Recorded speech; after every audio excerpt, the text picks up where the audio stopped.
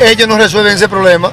A, a los motoristas si lo atacan ellos en la calle. Que vengan para acá, para el hospital, a resolver este problema. Tenemos más de media hora en este tapón, sin necesidad. El problema es fácil de resolver, solamente poniendo la calle de una sola vía el problema está resuelto. Fácil, una sola vía. Esto es un tapón que uno no lo puede aguantar. eh, frente al hospital San Vicente de Paúl vienen los pacientes ahí muriéndose y eso es un tapón todo el tiempo. Hay que buscarle la solución a eso, que esos camiones no bajen por aquí. ¿Entiendes? No busquen una otra vía, eso es de vaina, eso va a ser un caos aquí todo el tiempo aquí, eh, frente al hospital, todo el tiempo hace eso aquí.